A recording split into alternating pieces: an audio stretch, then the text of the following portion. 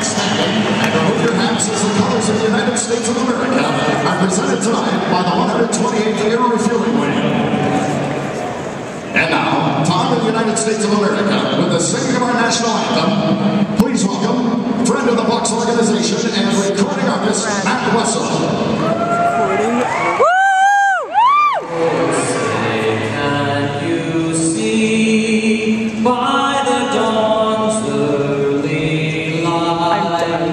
what so proudly we hailed at the twilight's last gleam, whose broad stripes and bright stars through the perilous fight